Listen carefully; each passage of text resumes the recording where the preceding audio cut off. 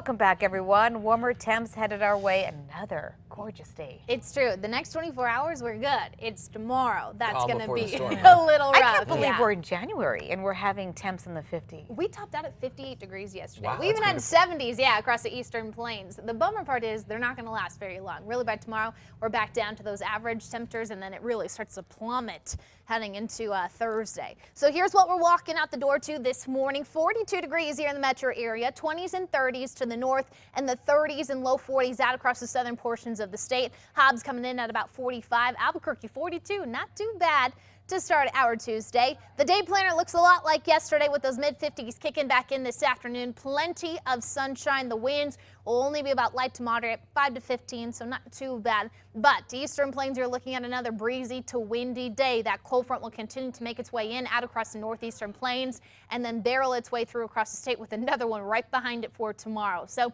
really today, do not have a lot to talk about. Tomorrow, though, that's when we're looking at some changes. We already have the winter storm watches posted for the eastern plains as well as out across the west central portions of the state and down for the southwest mountains. This will really start to pick up tomorrow and not let us let go really until Thursday afternoon. So the next 48 hours, hold on tight because it's going to get rocky. We're watching our next storm system making its way in from the Pacific, so moving in from the west, it's going to give us some lift. I'm really not thinking Northwest Plateau is going to see a big snow out of this, maybe a few pop-up showers, and that's about it. Eastern Plains is a whole different story. We have the cold front, the second one moving in tomorrow, giving us a cold air. With this lift, eastern slopes of the Sangre de Cristo Mountains, Sandia, and Manzano Mountains, prepare for some good snow headed your way. Metro area, it's a question mark. If we see snow, it's because the winds will be light. This is what we have to watch. If those easterly winds get up to about 20, 25 miles per hour, we're not going to see anything but a few flakes. So we have to make sure those winds stay uh, decently light to get anything here in the metro area. So the storm track, if I go ahead and run you through this, notice by the time we hit tomorrow morning, we're already starting to see a few of the showers pop up out across the northern mountains and northeastern plains.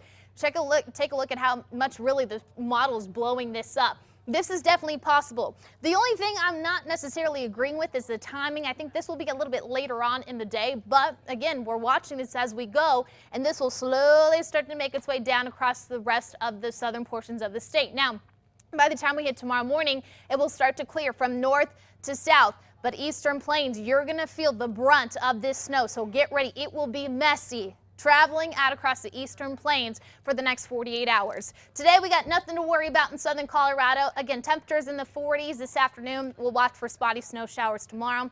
Northwest Plateau, same thing. Temperatures nice and mild in the 40s and low 50s today, but snow showers possible come tomorrow. We dry out for the rest of the week. Southwest, plenty of sunshine, warm afternoon. We'll watch for some rain Wednesday, Thursday. Really, those temperatures a little too warm to get out some good snow. Higher elevations, an exception. We'll watch for some of the Sacramento Mountains to pick up some good snow, especially the eastern slopes, like I mentioned. But temperatures from the 50s and 60s today. We're down to the 40s tomorrow, 30s by Thursday.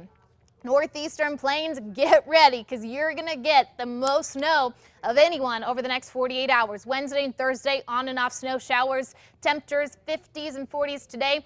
We get down to the 20s by Thursday afternoon.